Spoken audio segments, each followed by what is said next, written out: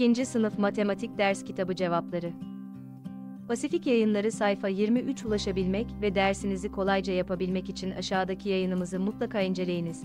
2. Sınıf Matematik Ders Kitabı sayfa 23 Cevapları Pasifik Yayınları mum fabrikasında çalışan bu işçiler, mumları kutulara koyuyorlar.